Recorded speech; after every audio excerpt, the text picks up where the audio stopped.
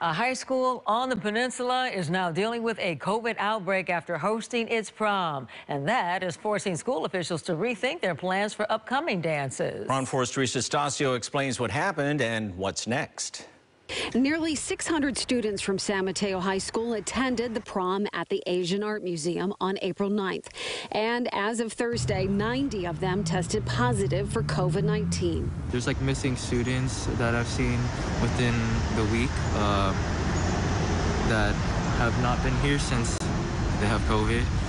Jaden Nguyen attended the prom. He recently tested negative. He says masks were recommended but not required by San Francisco health guidelines. Even administration, like teachers, volunteers are there, were not wearing their masks. Now some students and parents calling on the school district to implement some COVID prevention measures. I think they need to like control more, have yeah, more restrictions about that because you know they are very young, they feel they are nothing going to happen to them, you know? They mm-hmm. feel like they are indestructible. Yeah, if they like, you know, test people before, then yeah. And then I feel like people should get tested before they go to school too. In a statement to KRON 4 News, the superintendent of the San Mateo Union High School District stated, quote, the district cares deeply about the health and safety of members of our community and creating opportunities for students to enjoy and benefit from student activities such as performing arts, athletics, and senior rites of passage.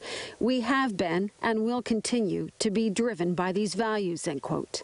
This coming Saturday, Hillsdale High School, also in the San Mateo Union High School District will hold its prom at the San Francisco Design Center Galleria.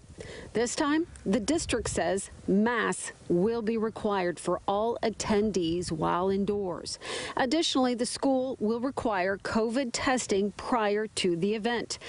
There will be free testing at school Thursday, Friday, and Saturday.